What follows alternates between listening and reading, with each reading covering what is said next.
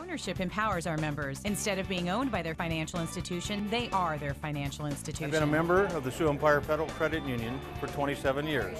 I'm Ken, and I am the Sioux Empire Federal Credit Union. I'm Deanna, and I am Sioux Empire Federal Credit Union. I'm saving money for college, and this is a great place to uh, help me do that. I'm Marissa.